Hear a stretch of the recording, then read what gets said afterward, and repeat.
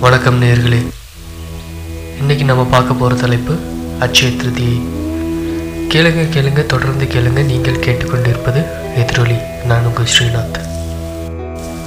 அட்சய திருதியை. இதில் அட்சய அப்படிங்கிறதுக்கான பொருள் என்ன அப்படின்னு கேட்டிங்கன்னா வளர்க அப்படிங்கிறது தான் பொருள். இந்த அட்சய திருதியின் நாளில் நம்ம என்னென்ன செஞ்சாலும் அது மென்மேலும் வளரும் அப்படிங்கிறது ஒரு நம்பிக்கை. ஒவ்வொரு வருடமும் மே பதினாலாம் தேதி வெள்ளிக்கிழமை இந்த அச்சய திருதியை கொண்டாடப்படுகிறது. முன்னாடி காலத்துலலாம் இந்த அச்சய திருதியை பற்றி எந்த ஒரு ஐடியாவும் அவங்களுக்கு கிடையாது. எதுவுமே பண்ண மாட்டாங்க அந்த நாளில். சரிங்களா?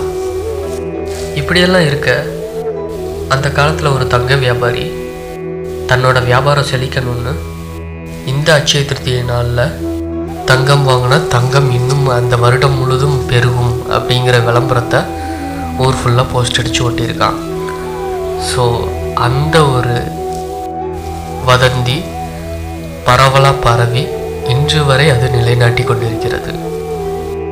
ஆனால் உண்மையை சொல்ல போனால் அந்த நாளில் அந்த தங்க வியாபாரி சொன்ன ஒரு விஷயத்த போஸ்ட் அடித்து சொன்ன ஒரு விஷயத்த இன்று வரை நம்பி ஒரு தங்க கடையில் க்யூ க்யூ போட்டு நின்று கால் கடுக்க நாள் முழுதும் நின்று கடன் வாங்கி அந்த தங்கத்தை வீட்டுக்கு வாங்கிட்டு வர்றான். ஸோ இதில் எந்த ஒரு பலனும் இல்லைங்க. சுத்தமாக சொல்லப்போனால் எந்த ஒரு பலனும் இல்லை. அன்று சொன்ன அந்த தங்க வியாபாரி இதோட அந்த தங்க வியாபாரியோட புத்திசாலித்தனம் தான் இன்னைக்கு வரைக்கும் பேசப்படுது.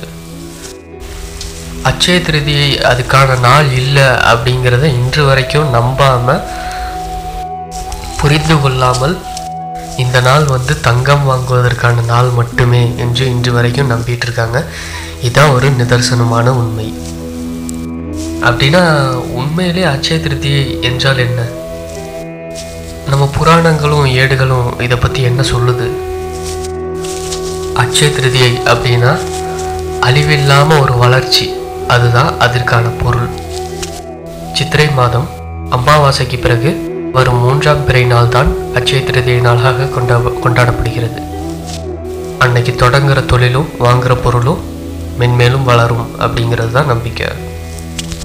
அந்த அச்சய திருதியை நாளில் தானம் கொடுக்கறது தான் முக்கியமான பங்கு வகிக்கிறது. நம்ம தியானம் கொடுக்குற தானம் கொடுக்கறதுனால அளவற்ற புண்ணியத்தை நம்ம சம்பாதிக்கிறோம் அப்படிங்கிறது தான் உண்மை. இந்த அட்சய திருதியை நாள்லையும் இறந்தவங்களுக்கு பிதிர் பூஜை கொடுக்குற ஒரு நாளாகவும் சொல்லப்படுகிறது. அப்படி ஒரு பிதிர் பூஜை கொடுக்கறதுனாலவும் தன்னோட குடும்பங்களும் வாரிசுகளும் வளர்ச்சி அடைகிறாங்க அப்படிங்கிறது ஒரு நம்பிக்கை. இதில் எது தாங்க உண்மையான அட்சய திருதியை நாங்கள் எப்படி நம்புறது அப்படின்னு கேட்டிங்கன்னா அனைத்துலகையும் படைத்த படைப்பு கடவுள் பிரம்மா. அவரோட தொழில் நம்மளை படைக்கிறது. அந்த தொழிலை அவர் துவங் துவங்கின ஒரு நாள் தான் இந்த அச்சய திருத்தியை நாள்.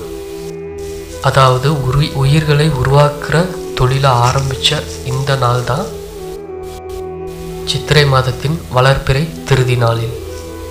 இந்த விஷயத்த வந்து நமக்கு புராணங்களும் ஏடுகளும் நமக்கு சொல்லுதுங்க.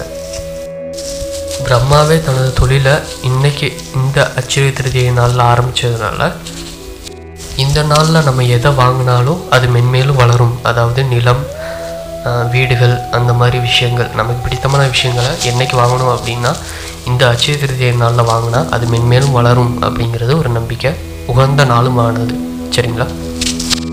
இதில் உண்மையாக மிகவும் சொல்லக்கூடிய ஒரு உண்மை அப்படின்னு கேட்டிங்கன்னா இந்த நாளில் ஏழை எளியோருக்கு முடியாதவங்களுக்கு அவங்களுக்கெல்லாம் நம்ம தானம் கொடுக்கறதுனால நம்மளோட பாவம் கழிந்து புண்ணியம் பல மடங்கு பெருகும் அப்படிங்கிறது தான் நிதர்சனமான உண்மை. எனவே நீங்கள் எந்த ஒரு பொருளாகட்டும் அது வாங்கணும் அப்படிங்கிற ஒரு நாள் நீங்கள் குறிக்கணும் அப்படின்னு நினச்சிங்கன்னா இந்த அச்சய திருதியை நாளில் நீங்கள் வாங்கலாம். சரிங்களா? தங்கம் மட்டுமே வாங்கணும் அப்படிங்கிற நாள் இல்லைங்க இது. நீங்கள் எது வேணாலும் இந்த நாளில் நடத்தலாம். ஸோ ஒரு கல்யாணம் கூட இந்த நாளில் நடத்தலாம். ஸோ ரொம்ப ஒரு நல்ல நாள். சரிங்களா? வளர்க தமிழ் வாழ்க வையகம். கேளுங்க கேளுங்க தொடர்ந்து கேளுங்க. நீங்கள் கேட்டுக்கொண்டிருப்பது எதிரொலி. நான் உங்கள் ஸ்ரீநாத்.